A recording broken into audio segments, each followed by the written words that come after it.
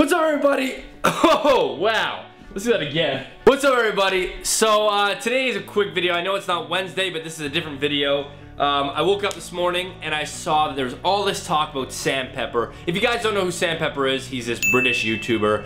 He's got over 2 million subscribers, so he's pretty successful. So his last prank video was he went onto the streets of wherever he lives and he sexually assaulted women and called it a prank. What he did was he put both of his sleeves of his sweater into the front pouch but really one of the arms wasn't there. It was fed through the back and he would just kind of squeeze their ass. Last time I watched a video that uncomfortable was Two Girls, One Cup.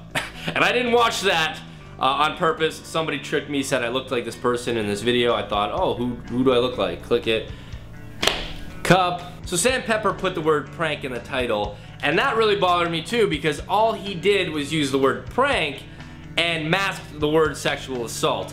I think what's pissed me off the most is that he's got a lot of young minds that he influences. He's got over 2 million subscribers, so he is the idol for a lot of young pranksters and kids out there. Sexually assaulted women, and now for these kids at home, they're gonna think it's okay because it's just a prank. The word prank is being used way, way too loosely nowadays. You're not a prankster if you do something like that. Now, I've never had an opinion or view about Sam Pepper, but I sure as hell do now. You guys watching at home, um, always be careful with what you upload online.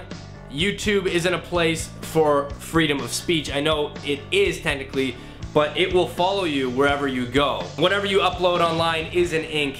YouTube should be a place for sharing creativity, happiness, love, experiences. So be very careful, guys.